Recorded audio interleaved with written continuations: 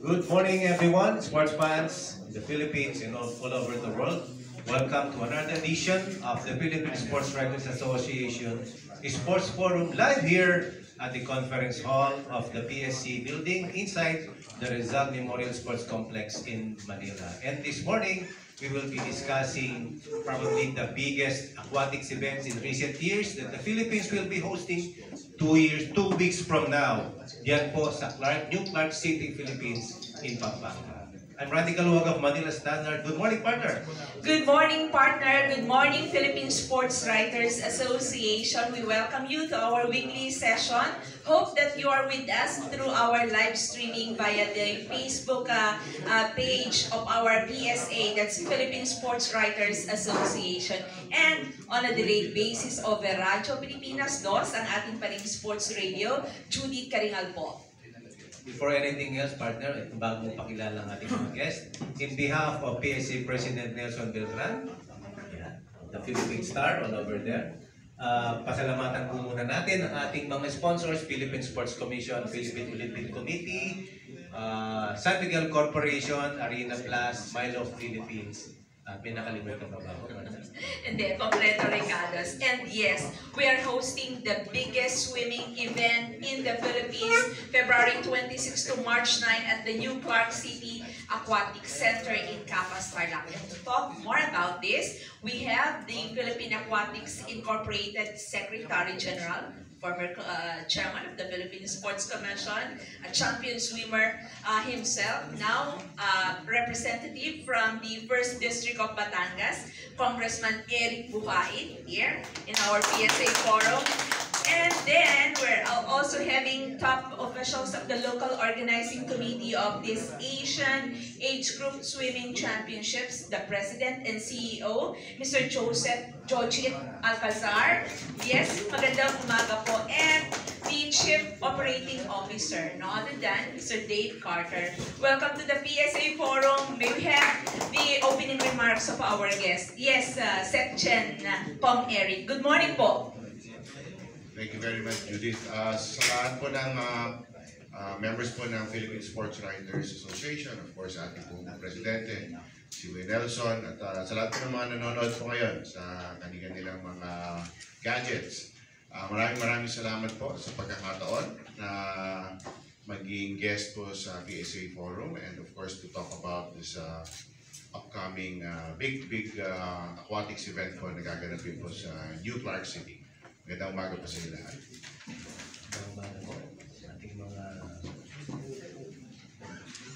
Ah, good morning po sa inyo lahat, saka sa lahat na nanonood, sa presidente po ng PSA, maraming salamat po na pag-ulakan nyo kami. Ah, this is a very important event po no? sa, sa sports, not just in swimming, but sports in the country.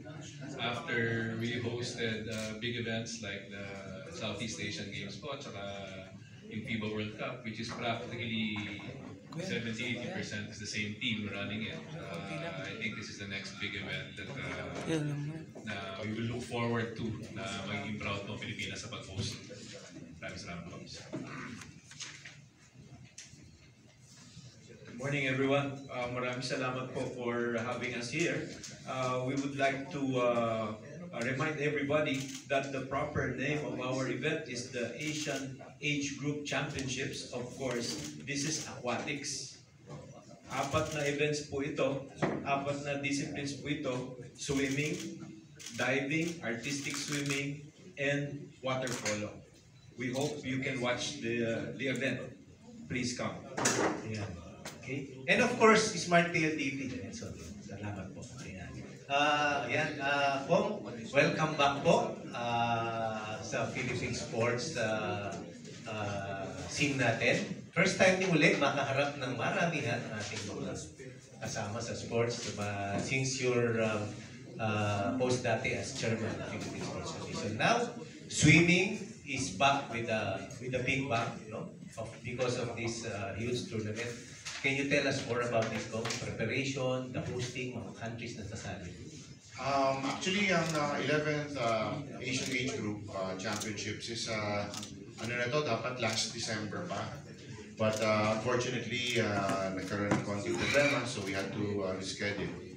Uh, it's all of Asia and it's an Asian competition for disciplines katulad ng ating uh, sinabi ni uh, CEO Dave, uh, swimming, yung diving, water polo, and uh, artistic swimming. At uh, over a thousand, uh, 1,300 participants. Uh, it will be held in the New Clark City Aquatic Center.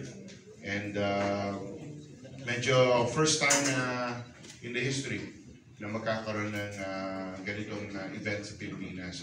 Uh, hanggang Southeast Asian age group na host na natin couple of times, siguro mga three or four times na in the last 50 years. Pero this will be the first sa sa level ng Asia. So napakalaking uh, opportunity talaga to for the country to, to showcase Uh, happy ho ang Philippine Aquatics Inc. because nandiyan ang uh, grupo, andito sa ating uh, harapan ng uh, aming pong presidente, tawag sa akin si Pangulong Joji at saka si CEO Dave dahil uh, uh, medyo kailangan natin ng mga veterano na na mga tao in this level of a competition. So, uh, sabi nga parang atong FIBA. Uh, itong, yeah, so, medyo mabigat, 31 national federations eh, as of now. So we have to be able to host them properly from the time that they arrive. Uh, in fact, coordinating with their own countries prior to departure sa kanilang bansa and returning them safely to their own countries is part of the uh, preparation. So happy po kami sa PAI, sa ngalan po na aming uh, presidente, si uh, Michael Vargas, nakasama po natin ang uh, local organizing committee to help us. And uh, of course, lumabas din yung ano yung uh, memorandum circular from uh, uh, Malacanang no? na hinihikayat po ang lahat ng mga ahensya na tumulong. So napakalaking bagay rin po yun para sa preparation state. Thank you, Kong. Balik- Balikan po namin kay Maya.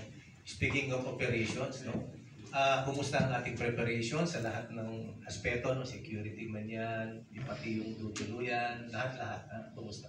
Brother Randy, uh, right now, mamaya actually magkakaroon kami ng coordination meeting. Sabi nga ni Ma'am Sharita, we have to check the game's readiness. And so far, we are confident dun sa pwede nating uh, ipakita dun sa ating mga bisita, sa ating mga manlalaki. Na kanina, minention ni uh, Kong Eric na about 100, 1,300 participants. Okay? These are only athletes. Okay? Maring meron pang dito dagdag ng mga uh, team officials.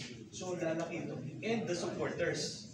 Okay? So uh, marami tayong ma-attract. And of course, Kong, if, uh, if, if you will allow me, uh, just recently, two days ago, it has been declared also na yung swimming ay uh, Olympic qualifying event for the Olympics. Kaya po, ito pong kanina sinasabi ni uh, Kong Eric na uh, as of now, ang pong participants po natin ay nasa 1,300. Dahil po pwedeng lumubo pa ito. Dahil po ngayon, meron po mga nag, uh, naghahabol ng mapasali dito sa ating event. Yan, thank you po. Sir Judith. Judith, uh, level, ano pa ba yung mga ah, kinakailangan natin para maging successful itong ating napala? Yes, sa lahat naman ng tulong, no? Uh, tinanong ni Congressman kanina, sa lahat ng tulong ng mga government agencies na na sumusuporta sa atin, no? Uh, naibigay naman yung mga tulong, most especially yung pag-welcome ng guests natin, importante, ano? From the airport, uh, going to Clark, and in terms of, uh, sabi nga ni COO Dave, in terms of games readiness, no? Uh, alam natin ang pinaka-importante dyan, besides the competition itself, is the yung logistics, no? yung transport, accommodations, and catering natin, no? Para sa ating mga bisita. And I think we are, you know, we are ready. We, we, we are ready to host games. As we've said, as, as uh, Dave said, uh, we will have a games readiness meeting later. So after that, uh, all set, all set na tayo to, to be able to host the games. And I just want to also um, spe- uh, specifically mention that we're hosting the event in a world-class venue in New Clark City. This is the only uh, swimming facility uh, that is uh, Olympic rated previously by FINA, which is now uh, World Aquatics. No? Uh, so world-class facility natin. So having a world-class facility, uh, the team is dedicated to give them uh, world-class hosting. Okay, thank you. Kong Eric, uh, what is the uh, significance of this uh, Asian uh, Age Group Championships as far as our Philippine team is concerned? Diba? Uh, gaano po kalaki ang partisipasyon ng ating uh, swimmers, divers, water polo team? Um, actually, uh, lahat naman ng discipline, uh, meron tayo, uh, except for artistic swimming. Medyo, ito yung isang uh, discipline ng aquatics na medyo kinakapaka namin, uh, for lack of a better word, dahil uh, uh, wala, wala rito sa amin marunong talagang magsayaw ng gano'n. So, uh, but um, we're going to work at that. We're going to work closely with the World Aquatics. Uh, even the World Aquatics, Asian Aquatics is changing. Kahapon na may malaking uh, nangyari sa Doha na pagbabago with regards to the Asian Aquatics. So, uh, I'm sure Philippines will be part of the change on the positive side, and uh, we're looking forward to that. Uh, the, it's an age group competition, uh, Ma'am Judith. So, ang laking bagay ito para makita ng ating mga kabataan na swimmers uh, in all the four disciplines uh, what is the level that we have to be in for future to be competitive internationally. Uh, and the announcement by World Aquatics that this will be a qualifying for the Paris Olympics.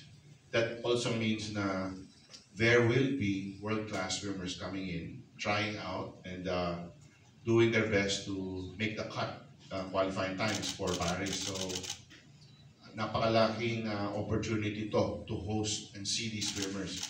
So we're also encouraging the the young budding uh, swimmers, uh, players to come here to to watch the games in New Clark para makita nyo naman yung mga kung anong uh, tunay na lamuyan. So ito yung uh, pagkakataon talaga natin.